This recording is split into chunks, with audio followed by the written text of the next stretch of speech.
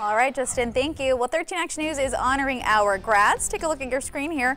This is Breana Koch. She is graduating from Pahrump Valley High. Her family says her spirit and strength are an inspiration to others. So I just want to say huge congratulations to you, Brianna. We also want to honor and congratulate Lesly Zecena. She's a senior right now at Desert Pines High School. She maintained a 4.0 GPA all four years. Good for you. Congratulations. That's a big accomplishment. We want to show off your grad. Visit ktnv.com slash grads or email grads at ktnv.com. We might feature your graduate on air.